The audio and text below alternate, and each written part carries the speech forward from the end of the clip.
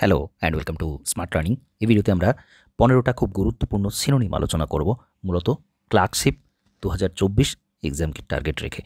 তো এখানে একটা বিষয় বলার, আপনারা প্রত্যেকে একটা ডেলি টার্গেট নেবেন যে প্রত্যেক দিন আমি পনেরোটা করে ইংলিশ সিনোনিম অ্যান্টোনিম যে কোনো টপিক পনেরোটা ম্যাথ পনেরোটা কারেন্ট অ্যাফেয়ার্স পনেরোটা স্ট্যাটিক জিকে পনেরোটা জিএস পেপার থেকে পনেরোটা, এরকম একটা টার্গেট ডেলি রাখবেন। পনেরোটাই রাখতে হবে এরকম নয়। কিন্তু পনেরোটা থেকে কুড়িটা বা এরকম একটা ডেলি টার্গেট যদি রাখেন, তাহলে দেখবেন স্মুথলি আপনারা কিন্তু সিলেবাসটাকে কভার করতে পারবেন এবং একটা কনফিডেন্স পাবেন।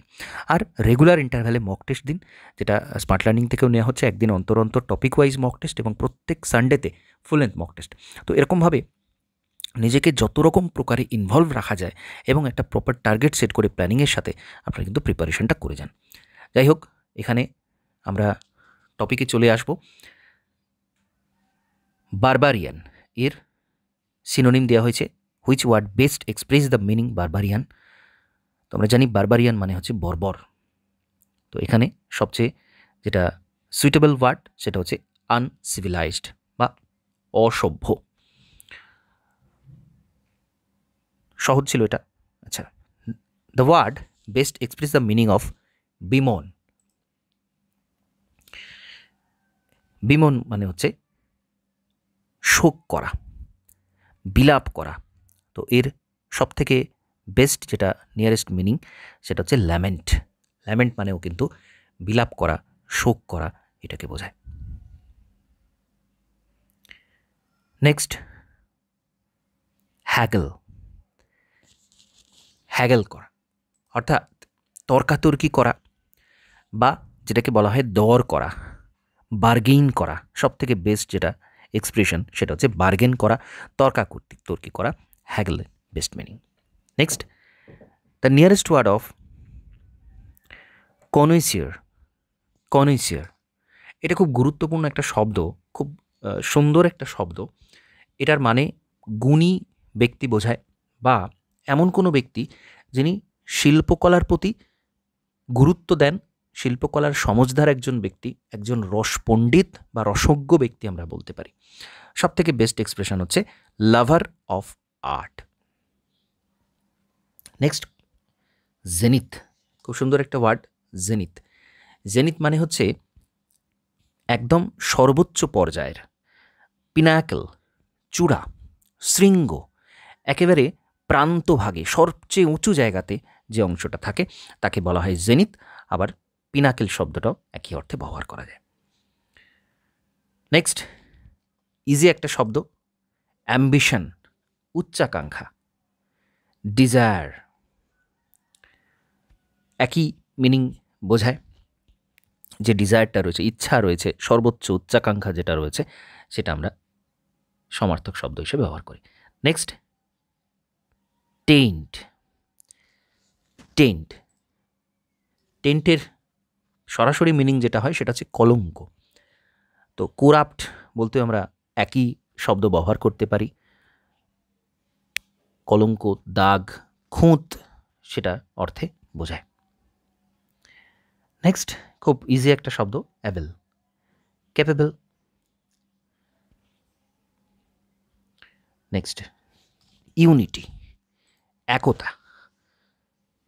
একসাথে থাকা ওয়াননেস নেক্সট কনসিল কনসিল করা। বা যেটাকে আমরা বলতে পারি গোপন করা। অ্যাকচুয়ালি এখানে বিপরীতার্থকটা দেওয়া রয়েছে। এখানে কোনো শব্দটাই এর নিয়ারেস্ট মিনিং নয়। কনসিল মানে হচ্ছে গোপন করা, চাপাচাপি করা, লুক্কায়িত করা কভার আপ এনভেলপ এরকম শব্দ এর সাথে যায় বা মাস্ক কভার কনসিল এর সমার্থক। এগুলো অ্যাকচুয়ালি বিপরীতার্থক হিসেবে রয়েছে। যাই হোক, এই প্রশ্নটা উত্তর যেটা হবে সেটা হচ্ছে আমরা বলতে পারি cover up conceal cover up envelope envelope বা মাস্ক এর সমার্থক শব্দ।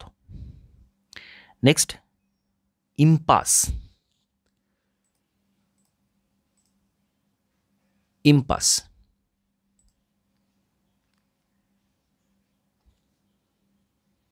ইম্পাস বলতে বোঝায় অচল অবস্থা। অচল অবস্থা ডেড লক ইম্পাস এগুলো সব সমার্থক। এখানে যেটা সমার্থক সেটা হচ্ছে স্টেলমেট স্টেলমেট বা এটাকে আমরা ডেড লক আরও সহজ শব্দ দিয়ে এটাকে আমরা ডেড লক বলতে পারি। অচল হয়ে গেছে এরকম কিছু বা ডেড এন্ডও বলতে পারি স্ট্যান্ড স্টিলও বলতে পারি, থেমে রয়েছে যেটা, অচল রয়েছে যেটা, শেষ প্রান্তে পৌঁছে গেছে যেটা, সেটাকে আমরা ইম্পাস বলতে পারি বা স্টেলমেট বলতে পারি বা ডেড লক বা ডেড এন্ড বলতে পারি। নেক্সট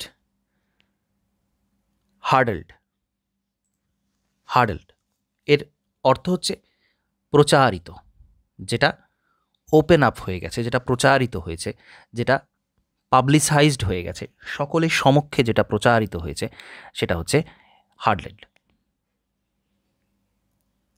নেক্সট আউটওয়েট আউটওয়েট মানে হচ্ছে ছড়িয়ে যাওয়া। বিভিন্ন দিকে ছড়িয়ে যাওয়া বা অতিক্রম করে যাওয়া, সেইটা। সারপাস এটা সব থেকে বেস্ট মিনিং আমরা বলতে পারি, ছড়িয়ে যাওয়া। নেক্সট স্কুটল স্কুটল এর অর্থ হচ্ছে বেগে ধাবমান কোনো কিছু স্কুটল বা যেটা ধ্বংস করা হয়েছে, এরকম কোনো কিছুকে বোঝায়। স্কুটল বা ফুটো করাকেও অনেক সময় বোঝায়। তো এখানে ডিস্ট্রয় এখানে এর নিয়ারেস্ট মিনিং নেক্সট স্প্রুট এর অর্থ হচ্ছে অনুপ্রাণিত করা। অনুপ্রাণিত করা, অনুরোধ করা, এটাকে বোঝায়। তো প্রমটেড এখানে নিয়ারেস্ট মিনিং সব থেকে বেস্ট মিনিং তো এখানে আমরা পনেরোটা খুব গুরুত্বপূর্ণ সিনোনিম আলোচনা করলাম। এরপরে আমরা অ্যান্টোনিম থেকে শুরু করে আরও বিভিন্ন ইডিয়ামস নানা ধরনের ফেজাল ভাব অ্যাপ্রোপ্রিয়েট প্রিপোজিশন এগুলো আলোচনা করব। আজকের ভিডিওটা এখানে কমপ্লিট করছি। নমস্কার, ধন্যবাদ।